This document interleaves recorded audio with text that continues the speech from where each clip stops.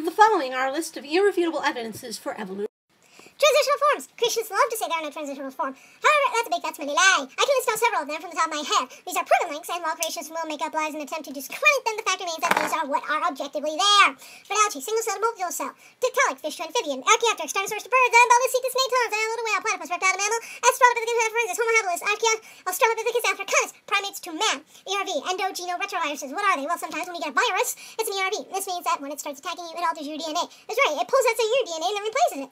The I have uh, it's kind of scary. Sometimes this can affect a gamete or egg and sperm spell, and when that happens, your child will have an ERV in their DNA. This will get passed on as long as that line survives. The cool thing about ERVs is that you can use them to find your family lineage based on where exactly they are. And you can do further back than that. Turns out we humans have ERVs in the exact same places that chimps have. Other animals but the ERVs we share with chimps are so close that we may as well be sister species. Oh, wait. We are! Vestigial structures. A vestigial structure is something that an animal has but no longer is used for its primary function. It only exists because the animal had it in a previous form and it still does something important. We humans have some tailbones, wisdom teeth, appendices, and so on. But there are more profound examples, such as some whales having hip bones. Dormant feature, feature slash atavisms, logical opposite of vestigial structures. Dormant features are features that, while they have been evolved out, appear every once in a while. Humans with tails and a full skeletal muscle control, dolphins with legs, and even chickens with teeth. How could they have the genes for these things if they didn't know them in the evolutionary past?